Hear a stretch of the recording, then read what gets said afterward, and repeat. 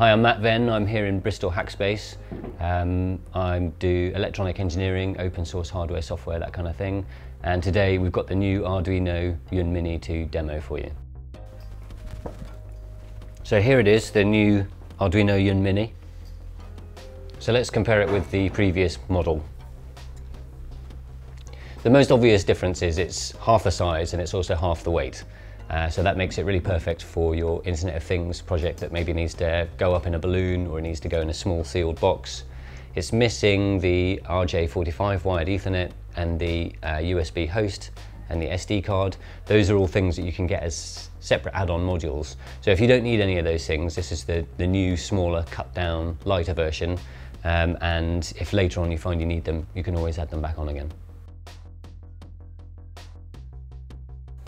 So this is the uh, messy side of Bristol Hackspace where members can make um, a lot of noise or make dust and we have equipment like this CNC mill here that require a bit of training before you can use it and we also want to know how long it's been used for. So I decided to make a tool access controller utilising the Yun Mini um, using an RFID tag like this so that when you touch in or touch out you can turn on and off a tool but only if you're inducted and then uh, it logs your usage hours to a Google spreadsheet.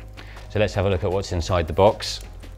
Um, on the front panel, we've got um, an LCD and a rotary encoder on a button and the RFID reader is just behind that panel there.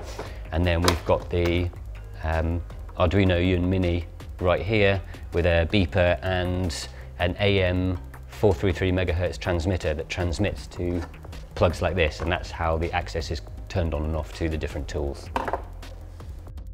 If I use my RFID tag, I can choose which tools I've got access to. So I'll start the mill, that sends a signal to this box here, and now I can drive it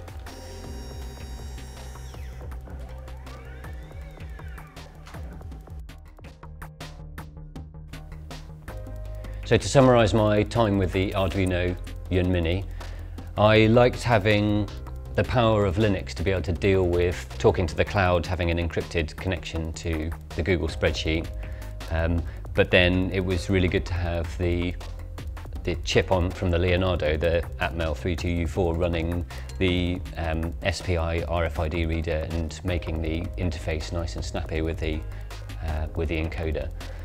Um, so if you need a small combination of Linux and a microcontroller in a really small and light package, then you should check out the Arduino Yun Mini.